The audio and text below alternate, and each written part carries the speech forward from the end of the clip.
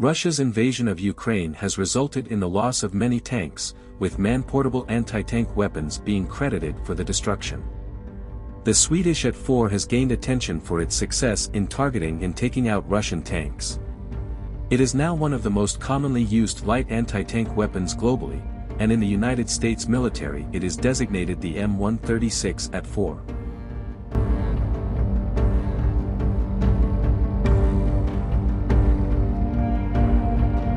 The At-4 was developed by a nation that has not fought in a foreign conflict since the Napoleonic Wars, apart from sending peacekeeping forces during the Cold War, including to the Congo in the 1960s, and more recently as part of the coalition to Afghanistan. Despite being neutral, Sweden developed the Miniman 74mm Pansarskott M-68, a disposable single-shot unguided anti-tank smoothbore recoilless weapon, which had a few shortcomings.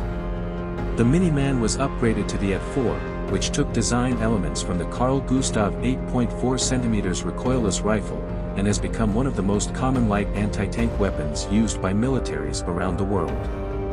The AT-4 can be easily operated by a single soldier, and depending on the particular rocket model, it has a range of 200 to 600 meters and can penetrate 420 millimeters of rolled homogeneous armor.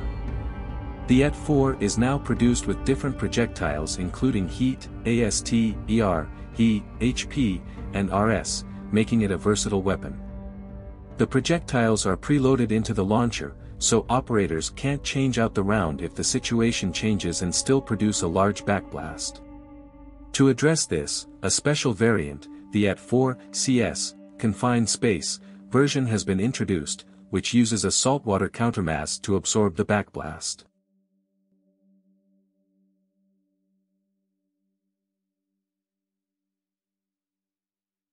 The AT-4 was chosen for use with the United States Army in 1982, before it was adopted by the Swedish military. Throughout 1983, the United States Army tested six different anti-tank platforms and found that the FFV AT-4 met all the requirements to replace the aging M72 law. The U.S. Army's M136 variant featured altered launch tube bumpers, sights and slings, which were found to improve the weapon. These modifications were incorporated in the version adopted by the Swedish Army. The Swedish version also employs a folding hand grip to help steady the AT-4 when it is being aimed and fired.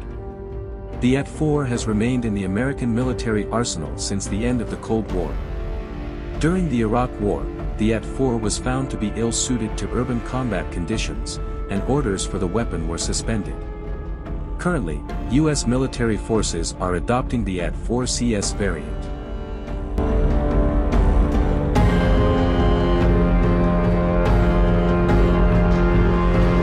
The AT-4 may not have the same level of recognition as the RPG-7, but it has made its mark in popular culture.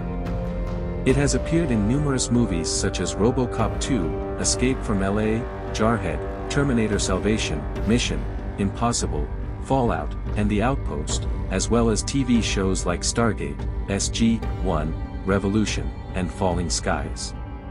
In video games, it has been a consistent presence for the past two decades, with some games depicting it as reloadable, while others accurately portray it as a single-shot weapon, such as in the Battlefield series and Insurgency, Sandstorm,